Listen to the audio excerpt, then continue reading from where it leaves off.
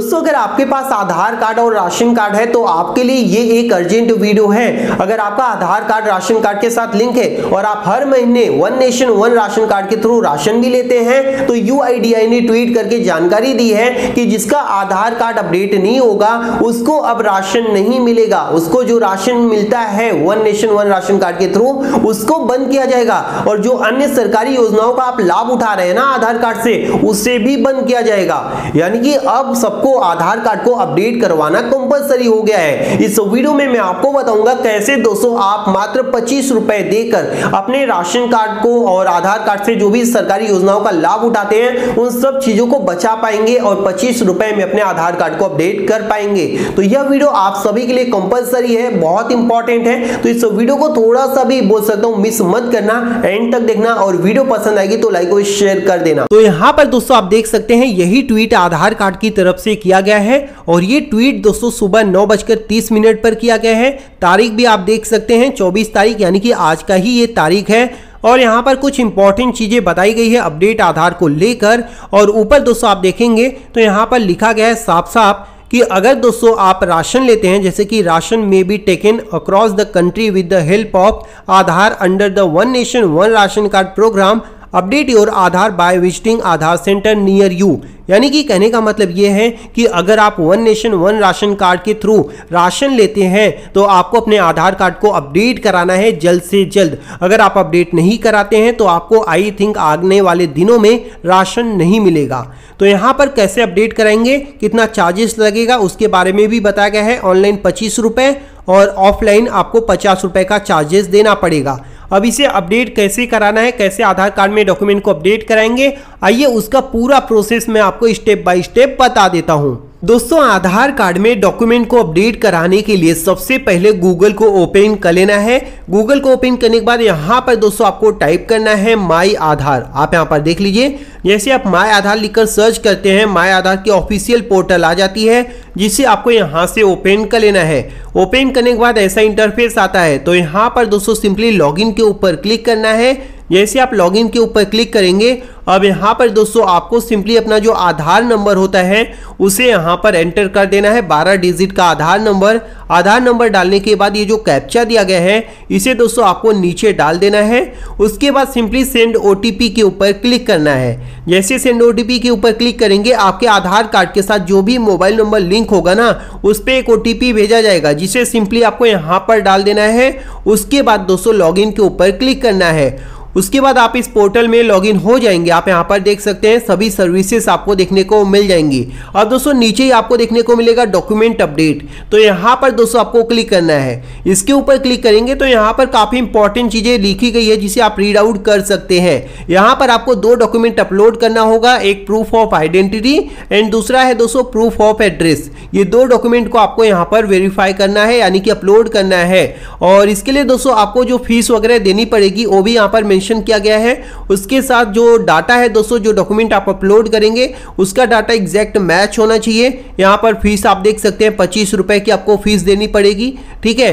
और एक इंपॉर्टेंट चीज़ यहाँ पर मेंशन की गई है कि जो भी आप डॉक्यूमेंट अपडेट करेंगे, उससे दोस्तों आपके डेमोग्राफी में कोई भी चेंजेस नहीं आएगा, जैसे कि name date of birth gender सब कुछ वैसे का वैसे ही रहेगा। उसमें कोई भी चेंजेस नहीं किया जाएगा, ठीक है? तो यहाँ पर सिंपली आपको नेक्स्ट के बटन पर क्लिक करना है। यहाँ पर कुछ प्रोसेस है तो आपको यहाँ पर नेक्स्ट कर देना है। जैसे आप नेक्स्ट करेंगे, आपके यहाँ पर आधार कार्ड की सभी डिटेल शो होने लग जाएगी, जो कि यहाँ पर आप देख सकते हैं। तो सिंपली आपको इसके ऊपर क्लिक कर देना है कि हाँ सभी डिटेल करेक्ट है, ठीक है? यहाँ पर आपको जो है आई वेरीफाई के ऊपर क्लिक कर देना है। उसके बाद सिंपली आपको दोस्तों नीचे की तरफ़ आना है। नीचे आएँगे तो यहाँ पर दिया गया है, please upload proof of identity यहाँ पर आपको एक डॉक्यूमेंट को अपलोड करना है। उसके लिए सबसे पहले आपको सेलेक्ट करना है, आप कौन सा डॉक्यूमेंट देंगे। यहाँ पर सभी डॉक्यूमेंट दिया गया है, जो भी डॉक्यूमेंट आपके पास अवेलेबल हो। जैसे कि यहाँ पर दिया गया बैंक पासबुक हो गया ड्राइविंग लाइसेंस हो गया, उसके बाद पैन कार्ड हो गया पासपोर्ट हो गया यहाँ पर मैरिज सर्टिफिकेट भी दिया गया है और स्कूल आईडी कार्ड भी अपलोड कर सकते हैं, राशन कार्ड भी एस सी का कास्ट सर्टिफिकेट भी अपलोड कर सकते हैं स्कूल लिविंग सर्टिफिकेट भी दिया गया है। यहाँ पर सेकेंडरी स्कूल का लिविंग सर्टिफिकेट उसके साथ साथ नीचे आएँगे तो वोटर आईडी कार्ड बहुत सारी चीज़ें यहाँ पर दी गई है। जो भी डॉक्यूमेंट आपके पास है, वो सिलेक्ट कर लीजिए। हमने यहाँ पर वोटर आई कार्ड सेलेक्ट कर लिया है। अब जो भी आप ये सिलेक्ट करेंगे डॉक्यूमेंट ना दोस्तों, वो आपको अपलोड करना है, जिसकी साइज़ दो MB तक की होनी चाहिए, इससे ज़्यादा नहीं होनी चाहिए। इस बात का आपको ध्यान रखना है। और किस फॉर्मेट में होना चाहिए, वो भी दोस्तों यहाँ पर नीचे की तरफ़ बताया गया है जेपीईजी पीएनजी और पीडीएफ ये तीन फॉर्मेट में ही आप यहाँ पर डॉक्यूमेंट को अपलोड कर सकते हैं। उसके बाद दोस्तों, जो भी आपने दस्तावेज़ यहाँ पर सेलेक्ट किया है, उसे दोस्तों यहाँ पर आपको अपलोड करना है। ठीक है अपलोड करने के लिए इसके ऊपर क्लिक करना है कंटिन्यू के ऊपर क्लिक करना है। यहाँ पर आपको अपना दस्तावेज़ जो है अपलोड कर देना है। जैसे कि यहाँ पर हमने अपलोड कर दिया है, ठीक है? इस प्रकार से आपको अपलोड कर लेना है, नीचे आना है।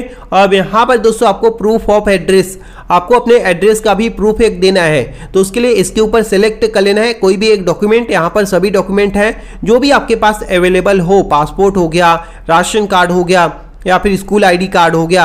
यहाँ पर भी काफ़ी सारी चीज़ें दी गई है। वाटर बिल हो गया एंड वोटर आईडी कार्ड यहाँ पर भी आप दे सकते हैं। या फिर इलेक्ट्रिसिटी बिल तो सबके पास होता है, वो भी आप यहाँ पर दे सकते हैं। तो हम यही देंगे, इसके ऊपर क्लिक कर लेते हैं। और अगर आप इलेक्ट्रिसिटी बिल दे रहे हैं तो ये तीन महीने से ज़्यादा पुरानी नहीं होनी चाहिए। इस बात का आपको ध्यान रखना है, ठीक है?